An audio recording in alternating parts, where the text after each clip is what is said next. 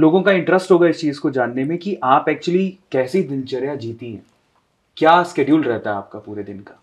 देखिए दो स्केड्यूल्स रहते हैं मेरे जब मैं इवेंट्स में हूँ कथाओं में हूँ सेशंस में हूँ अपने तो तब एक बहुत ही डिसिप्लिन्ड स्केड्यूल होता है जहाँ हर चीज़ टाइमली होती है। उठना टाइमली होता है खाना टाइमली होता है पढ़ाई टाइमली होती है कथा टाइमली होती है। और तब इतना हॉबीज़ का आई डोंट थिंक सो मुझे समय मिलता है क्योंकि मेरा दिन काफ़ी निकल जाता है लोगों से मिलना होता है मीटिंग्स होती है हम स्कूल्स जाते हैं गौशालाएँ जाते हैं कई जगह जाते हैं लोगों से मिलते हैं बात करते हैं प्रेस कॉन्फ्रेंसेज होती है। तो एक थोड़ा हेक्टिक भी है पर डिसिप्लिन भी है जहाँ एक समय तय होता है हर चीज़ का और उससे आगे पीछे नहीं होता। पर जब घर पे होते हैं तो आप एक रेस्ट मोड पे होते हैं।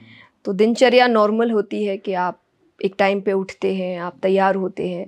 फिर उसके बाद मेरे एक दो चीज़ है जो मैं कभी मिस नहीं करती। दैट इज़ मंत्र चैंटिंग मेरी पूजा। हम्म। मंत्र चैंटिंग मेरे लिए मेडिटेशन है तो अगर आप उसका नाम देखें मेरी मेडिटेशन और मेरी पूजा। ये मैं सुबह भी करती हूँ और सोने से पहले भी करती हूँ। तो नो मैटर वॉट मैं कहाँ हूँ ये दो चीज़ें हमेशा होती है। बाकी चीज़ें इधर उधर हो सकती है पर ये दो चीज़ें कभी इधर उधर नहीं होती। तो ये पक्का है और बाकी फैमिली टाइम होता है। फिर जैसा मैंने कहा कि हम सारी मील्स एक साथ करते हैं। और बाकी फिर आप ऑफ़िस जा रहे हैं आप मीटिंग्स अटेंड कर रहे हैं कि घर जाने के बाद भी बहुत काम होते हैं। आपको टीम से मिलना होता है आपको नए प्रोजेक्ट्स प्लान करने होते हैं। तो ये चीज़ें मिक्सडअप होती है। ये डिसिप्लिन वे में नहीं होती क्योंकि आपको पता नहीं होता। आप जस्ट आए हैं तो आप बैठते हैं थोड़ा समय लेते हैं बनाने का। तो कोई बहुत अतरंगी सा शेड्यूल नहीं होता मेरा। एक नॉर्मल सा शेड्यूल है। जो आप चीज़ें सोचते हैं क्योंकि बस काम बहुत होता है अलग अलग प्रोजेक्ट्स होते हैं तो आपका दिमाग काफ़ी जगह लगता है। अदरवाइज़ मेरा रेस्ट मोड इज़ फैमिली। क्या फैमिली के साथ रहिए खाइए एंजॉय करिए मूवीज़ देखिए अच्छी अच्छी मूवी अगर कोई निकल रही है जो अच्छी सीख देती है वो देखिए। बातें करिए डिबेट्स करिए क्योंकि वो भी कम मिलता है। तो ये बहुत ही सिंपल सी दोस्तों से मिलती हूँ मैं काफ़ी समय बाद जाती हूँ तो मैं उनको घर बुलाती हूँ या उनके घर जाती हूँ। बाहर जाना थोड़ा मुश्किल होता है।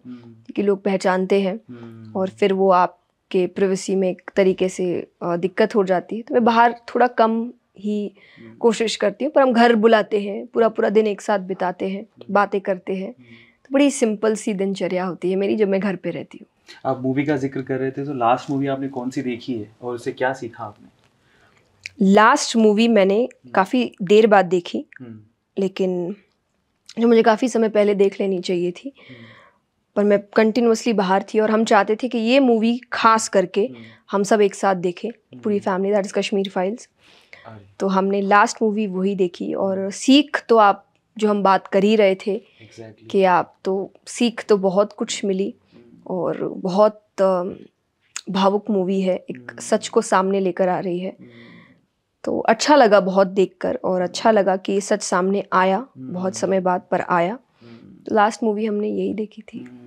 वो देखने के बाद एक्चुअली मुझे पहली बार ऐसा लगा कि एकदम ये जो हिंदू हैं वो एक साथ आए कि हमें सपोर्ट करना चाहिए देखना चाहिए।